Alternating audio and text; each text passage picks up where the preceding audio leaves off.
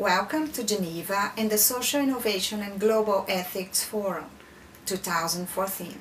This is an event that brings together organizations and personalities from all over the planet. In the next days, we will explore and share ideas and experience that meet the diverse social and environmental needs, creating more effectively a collaborative networks among us. Intending this event to be ecological responsible and viable, Horyou works in partnership with environmental agency Pick-upau through the Atmosphere program, conducting an inventory of emissions and afterwards neutralization of this by planting native seedlings of Atlantic forest species, one of the biodiversity hotspots of the planet.